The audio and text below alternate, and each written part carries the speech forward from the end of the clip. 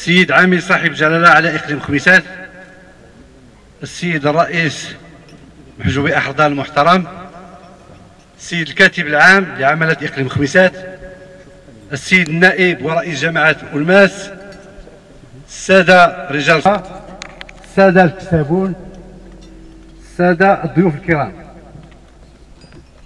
في البداية أود قبل كل شيء أن أرحب بكم جميعا. وأشكركم على تلبية الدعوة والحضور معنا في هذه المناسبة السعيدة المخصصة لتنظيم المباراة السابعة عشر لاختيار أحسن مربي أبقار سلالة المزعير أود كذلك أن أتوجه بالشكر الجزيل للسيد العامل وكذلك للسلطات المحلية والسيد الرئيس والسادة رؤساء وأعضاء جماعة ألماس الذين ساهموا في تسهيل مأموريتنا وتأييد هذا الجو الملائم. بطبيعة الحال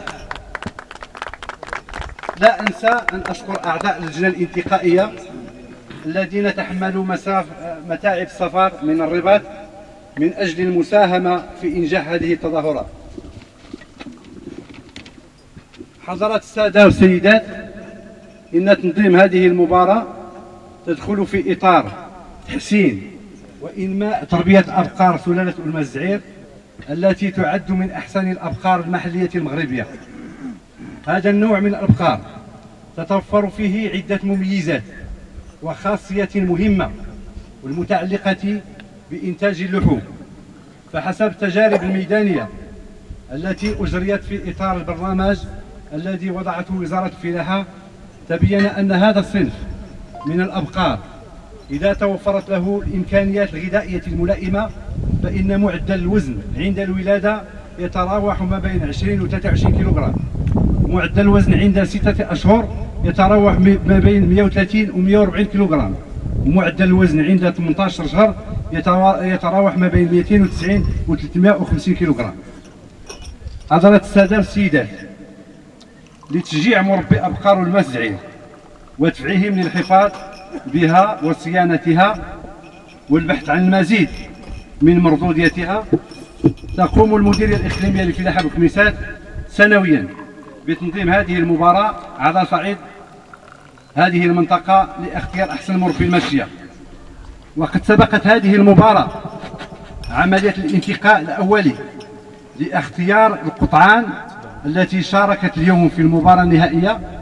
هذه العملية تم إنجازها خلال الفترة الممتدة بين 16 يونيو و 4 يوليوز 2010 وذلك بجماعات والماس جماعة بوكشمير وجماعة أيت إيشو.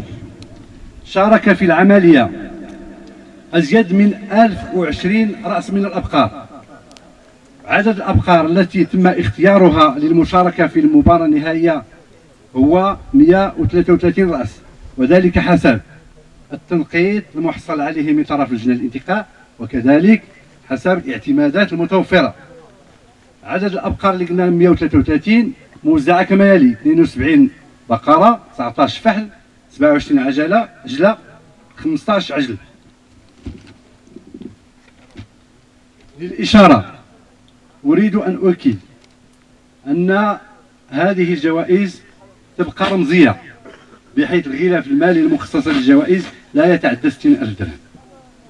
والهدف الرئيسي المتوخى من هذه المباراة هو التعريف بهذا النوع من الأبقار وكذلك المساهمة في إظهار المؤهلات التنموية والسياحية لمنطقة الماس والتعريف بالمجهودات المبذولة من طرف مربي الماشية وكذلك مجموعة مجهودات وزارة الفلاحة في هذا الميدان. قبل أن نمر إلى تقديم نتائج المباراة أريد أن أذكر. على التأطير تقني قامت بمنح مالي قدره 600 ألف درهم لفائدة جمعية مربي سلالة المزعير وذلك من أجل تقوية التأطير وتجهيز الجمعية بالوسائل الضرورية وستقوم الوزارة كذلك بدعم قد يصل إلى جوج مليون و175 ألف درهم منها 500 ألف درهم قبل نهاية سنة 2010 ومليون و675 ألف درهم في سنة 2011 شريطة أن الجمعية عقد جمعها العام العادي من أجل تجديد المكتب والعمل على إنجاح البرنامج المسطر وذلك في أقرب الأجال كما اتفق عليه في آخر الاجتماع هنا في أولماس وفي الأخير وجديد الشكر للحضور آملين أن يجعل الله من هذه التظاهرة انطلاقا فعليا للتنمية الفلاحية والقروية بالمنطقة وأن يكون الموسم المقبل موسما ممترا وأن تكلل جهود الفلاحين والكسابين بمردودية أفضل ومحصول أكثر حتى نساهم في الاكتفاء الذاتي لبلادنا. وفقنا الله لما فيه خير الجميع. تحت رعاية السد العالية بالله جلال